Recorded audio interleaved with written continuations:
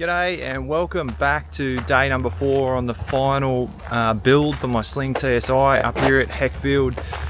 And it's going to be moving day today so uh, basically going to be going through and fixing wings uh, and all the tail as well too. So obviously the plane's going to start to look like a plane which is going to be awesome.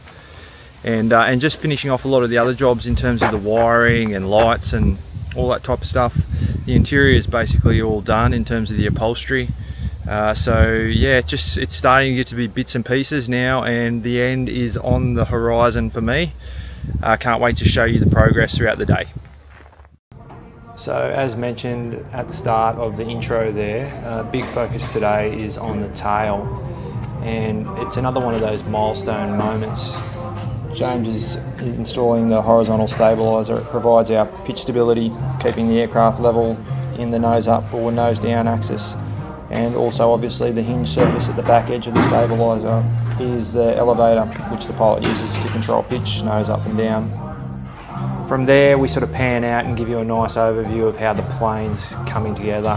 We jump across to yesterday's work, the gluing down of the windscreen and getting those edges sealed up nice and snug. We'll move up into the engine bay and you'll see the, us prepping everything, in particular the battery terminals, getting everything ready for that final connection piece. And finally we're in the inside there now, showing you how the interior is shaping up. The carpet's in, side panels are fitted, still a couple of little things to go on the carpet, but nearly there. It's all coming together. So stay tuned for more details throughout the day.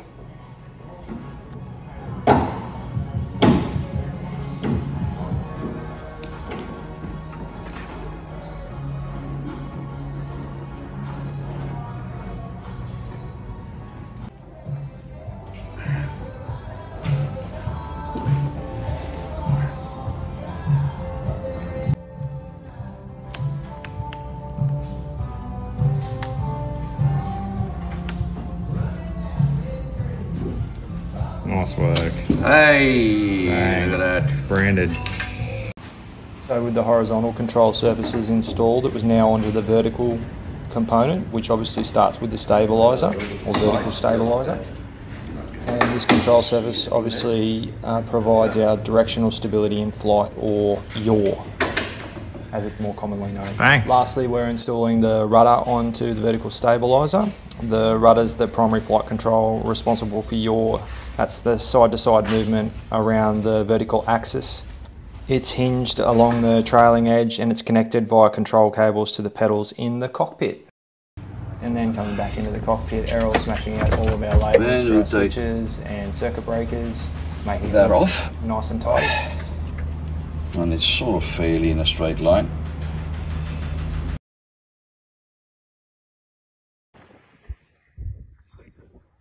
About to go flying in the Sling 2, just get a bit of uh, air time. So cannot wait to get up in the air. It's very windy at the moment, but uh, looking forward to it. Alrighty, so one of the things obviously that um, I needed to get checked off before I started flying this TSI I was getting some time in a sling. Um, so the guys from Pathfinder Aviation, David Stevens, uh, was able to help me out. I spent the afternoon up in this Sling 2 today, which is a newly uh, minted VH registered Sling 2. Uh, it was so good. It was so good. It was, a, it was a little bit windy. For those that have flown at Heckfield, probably know that you know Heckfield in itself is a pretty pretty tough little airport. It's narrow. It's it's a little bit shorter, but yeah, and there was a bit of wind today. But I just loved it. Uh, the Sling 2 was so easy to control, and it just makes me really look forward to the TSI. So I spent probably about an hour and a half up there, and I went through uh, did some stalls, did some steep turns, just all the normal stuff, straight and level. Just got myself familiar. It's been five months since I've been in a plane. Uh, and then David came in to the circuit and sort of handled the majority of the radio for me, which was good. Took a bit of the pressure off, and then uh, and then he came in and demonstrated the first first uh, first landing. And, and what I found was it was a very predictable predictable aircraft, which is exactly what I was after. Uh, and then I landed probably the next six or seven uh, and pretty good. Like from from five months of no aviation, I was pretty happy with sort of how it all panned out. Uh, this little plane is just unreal. Just really, really, really easy to control and just uh, yeah, really nice. So glad that I did that. And now the plan is that basically uh, when I take the keys for the sling, I'm probably going to spend a good three days of just solid sort of four or five hour days with David, um, flying in and around all the Brisbane airspace and getting ourselves out and about and just flying some of the routes that I will be flying in.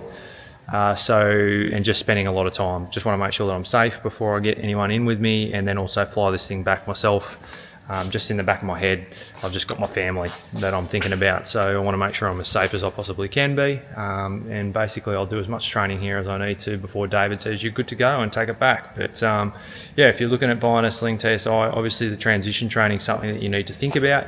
Um, the guys have got a really good contact here at Pathfinder Avi Aviation and uh, can't recommend that enough. We've got a uh, tail assembly now fully on, which is awesome and a lot of the electrics have now started to be wired up. We've got a panel that's starting to get labelled in here. There's lots of stickers going on the plane. My rego's on there. Um, I'll just show you a little bit of that stuff. So obviously we've got the tail, our rego, Kilo Charlie Bravo. Uh, inside, you know, as I said before, all of our upholstery is now in. Just started to get our um, panel. You can see there we're starting to get labels on. So that's all really, really good. The windscreen now, um, the saga of the windscreen. There's a lot of effort that goes into fitting a windscreen I found. I glued it down yesterday, so it's all in place. All that hard work that James did, grinding it, getting it um, to the point where it was well shaped. That obviously wasn't the last piece. The, the other piece was obviously to, to fit it. Um, so there was a lot of taping and prep work involved in that. And then basically once it was in place and glued and um, all in place, we then uh, we then had to rip all the tape off and then do it again because basically all this part part here is going to be painted matte black and you can sort of see here we've done that for the rear windows as well and then coming across over onto the far side over here. We've had to do it all the way through obviously. Uh, rear window over here. And then obviously then as well to our doors. So our doors had to sort of go through the same sort of treatment. So heaps of prep work there. You just sort of see in the background there, there's a little bag there from Flight Store. So one of the things that I did today was uh, I went in and I got a bit of a um, camera mount. So that's probably for our next stage of the sling. So went and got an exterior ball head ball headed mount there. The guys at Flight Store were super. So uh, there's something to be said for being able to go into a store and touch and feel things. Uh, so that was uh, really, really good to be able to do that. I had a lot of expertise as well. And so ends the second last day of my build assist journey with Errol and his team up here on the Gold Coast. This last stint has just been an absolute head spinner. So much good stuff coming together. Lots of stuff that I'd imagined in my head and all of a sudden seeing it in the flesh was just super. And I can tell you the last day, which is the Friday, we absolutely make a huge amount of progress and it's actually mind blowing to see what the end product looks like as I walk out the doors on Friday. But that's for the next episode. I'm now amazingly over 20 episodes deep into this series, something that I didn't really expect when I first started. I hope for those people that have been hanging in there and watching the build series from start through to finish, I've given you the context that I just didn't have when I first started this build assist process here in Australia. There was no material here in Australia, and now there is.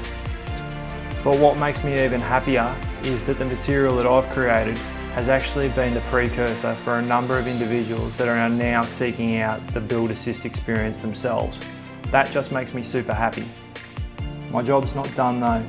The build assist was the first part. The second part is showing how the TSI performs in Australian conditions. I still have so many questions that I need to answer myself and in turn show you. I know that if I'm asking questions, there's still questions out there to be answered. I can't wait to show you the last episode and Kilo Charlie Bravo in all her glory. Until next time, thanks for supporting me.